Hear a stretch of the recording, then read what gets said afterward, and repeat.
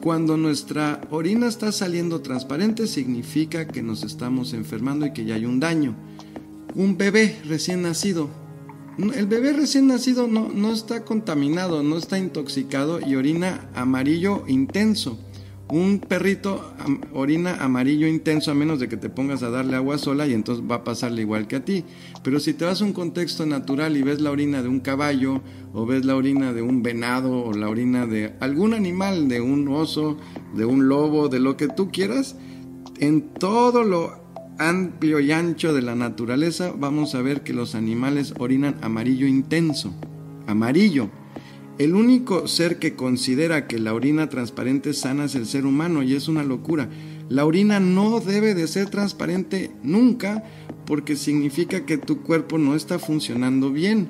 Eso solo lo vemos en situaciones patológicas como en una en una diabetes insípida, por ejemplo, o en algunos tumores del cerebro que hay un desequilibrio de las hormonas del riñón.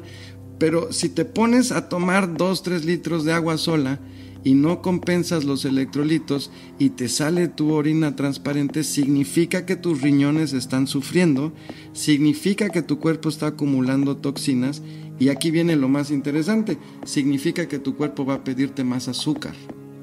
Entonces, esto significa que, en resumen, el exceso de líquido combinado con la falta de sal hace que el cuerpo, o sodio, si lo quieres ver en la fisiología, que nada más hablan de sodio y no de sal, hace que el cuerpo necesite más glucosa y eso lo interpretamos como adicción al azúcar. De cualquier fuente pueden ser fuentes consideradas sanas como las frutas. Y la retención de toxinas, urea, y eso, esa, esa retención de toxinas puede causar dolores como los que ocurren en la fibromialgia y todo esto se puede observar como orina clara.